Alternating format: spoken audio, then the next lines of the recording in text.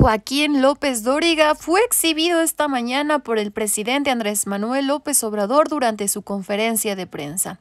Esto después de su crítica a la vajilla que usó en el desayuno que sostuvo el presidente con el empresario Carlos Slim. El mandatario mexicano se burló y señaló que la crítica de los opositores y los comunicadores no tiene fundamentos y pinta una falta de inteligencia. ¿Por qué no pones el video? La, una vajilla ahí.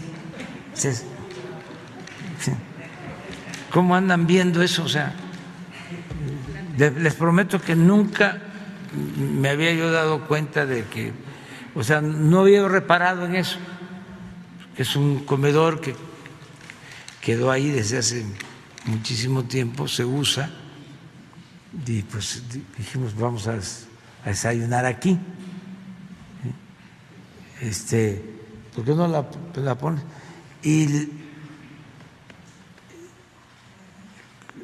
este, se fijan en ojalá y fuese de la época de, de, Maximiliano, pero no, porque saquearon muchas cosas que habían quedado.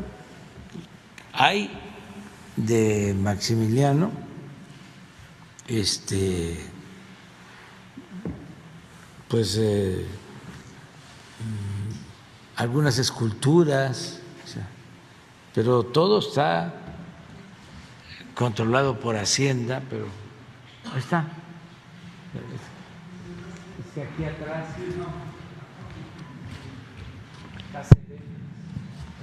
las vajillas. Ya voy a invitar a López Origa.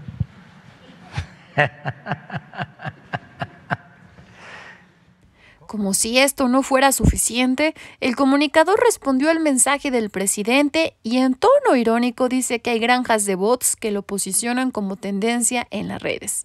Sin embargo, la realidad es que una vez más fue exhibido por los ciudadanos que se manifiestan en redes sociales y que le recordaron sus millones que recibió durante el sexenio de Enrique Peña Nieto.